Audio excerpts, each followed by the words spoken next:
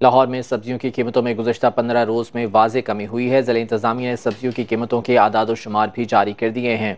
तफसलत जान लेते हैं। नुमाइंदा खसूसी अली शराज हमारे साथ हैं। अली शराज, बताइएगा इन कीमतों के हवाले से क्या आदाद शुमार जारी किए गए? जी, बिल्कुल लाहौर के अंदर जो बाकायदा तौर पर सब्जियों की कीमतें हैं, उसकी पंद्रह दिन के अंदर सब्जियों की कीमतें जो हैं, उसमें खासी कमी देखने में आई है। वज़ीर अला पंजाब मरियम नवाज़ की हदायत पर डीसी लाहौर सैयद मूसा रजा ने जो मंडियाँ हैं, उन पर सख्त निगरानी करते हुए पंद्रह रोज के अंदर सब्जियों की कीमतों में वाजिया कमी की है, जिसमें टमाटर की कीमत पच्चीस रुपए की कमी के बाद एक सौ पैंतीस रुपए से कम करके एक सौ दस रुपए कर दिए गए हैं, जबकि आलू की कीमत में दो रुपए कमी की गई है, लहसन की कीमत में पाँच रुपए।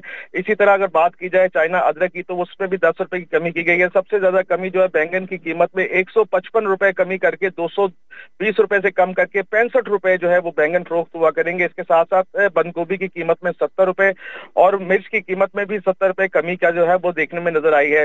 डीसी लॉर्ड की जानब से जो मंडियाँ हैं, उनकी सख्त निगरानी की गई थी, जिसके बाद पंद्रह रोज के अंदर मजीद कमी की जो है वो इम्कान सामने आए हैं और मुस्बत नतज जो सामने आए हैं, इसके मुताबिक लाहौर के अंदर सब्जियों की कीमतें जो है वो सौ रुपए से लेके तकरीबन सत्तर रुपए तक जो है वो कीमतों में कमी देखने में नज़र आई है। इसके साथ साथ अगर बात की जाए तर्जमान ज़िले इंतजामिया ने ये भी बताया है कि तमाम मंडियों के अंदर जो है कीमतों की मॉनिटरिंग की जा रही है और पंद्रह दिन का रिज़ल्ट ये सामने आया है कि मुस्बत नतज आए हैं, जिसकी वजह से कीमतें कम हुई हैं और मजीद कीमतें कम होने के भी इम्कान ज़ाहिर किए हैं। जी। ठीक है, अली शराज, बहुत शुक्रिया। अपडेट करने के लिए।